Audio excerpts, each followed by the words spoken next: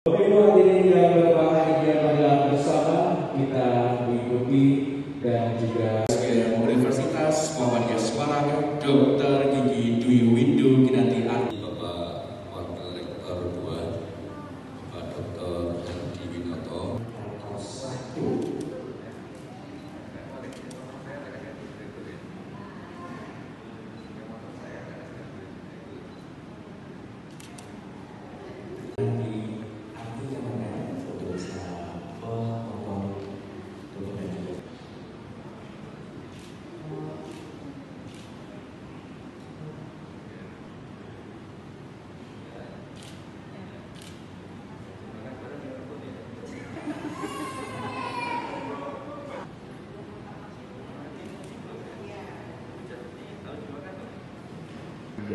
Assalamualaikum warahmatullahi wabarakatuh. Salam kenal, saya Dr. Gigi Dwi Windu Kinanti Arti MMR selaku Direktur RSGM Unimus Kota Semarang.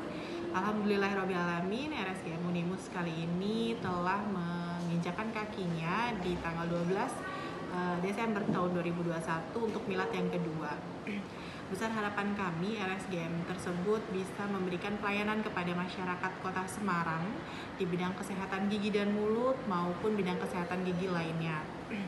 Nah, eh, kami juga berharap RSGM ini bisa memberikan kontribusi yang lebih eh, dan membantu percepatan untuk sebagai wahana pendidikannya bagi Fakultas Kedokteran Gigi karena tidak luput dari sejarah kami adanya RSGM itu merupakan salah satu bentuk supportnya eh, FKG Unimus yang dalam hal ini pendidikan dokter gigi harus di RSGM Unimus. Nah, eh, kami berharap dengan usia yang kedua tahun ini kami bisa memberikan kebermanfaatan untuk segala aspek dan semua pihak eh, khususnya lapisan masyarakat di Kota Semarang.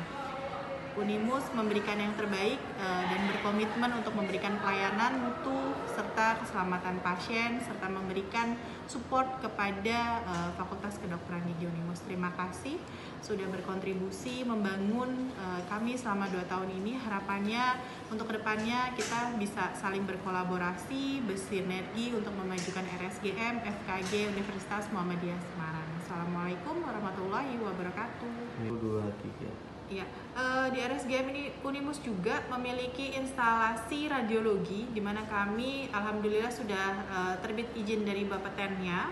Eh, kami memiliki pesawat CBCT yang bisa digunakan untuk ronsen foto. Jadi untuk masyarakat Kota Semarang yang ingin melakukan ronsen foto bisa datang ke RSGM Unimus. Nah, itu menjadi salah satu keunggulan teknologi Jangan lupa follow, like, dan subscribe sosial media Tribun Jateng.